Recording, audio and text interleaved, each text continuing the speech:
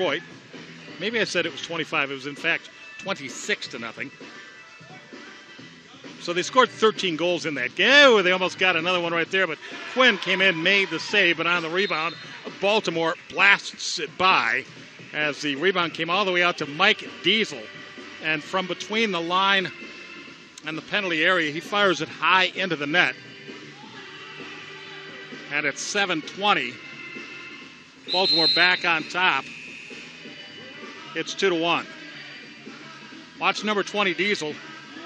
The original shot just going to come right back out to him, and he just not too much blocked this time by Max Ferdinand. Two on two back the other way. Zuniga looking for his hat trick goal. Left footer off the end boards, and they score on the rebound.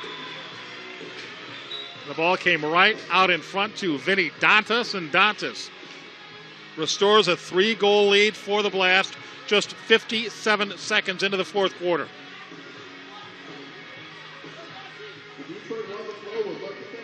Now the shot was wide of the target by design as it came right out in front to Dantas, and here it is. That's uh, Dantas who's going to wind up scoring the goal, number 17. Watch the shot come off the end boards, and Dantas a nice job. Really, is he almost.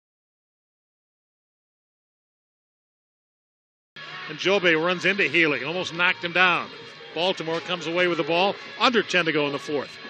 Blast seven. Waza Flo four. Right out in front, make it eight to four. As the ball went right to Vini Dantas. And Dantas gets his second goal of this fourth quarter. And it's eight to four Baltimore on the goal at the 5-12 mark.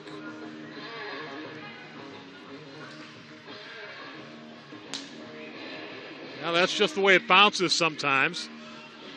As you see, Gonzaga sent it in deep, and it comes off the end boards, and unaccounted for is Vini Dantas, and he just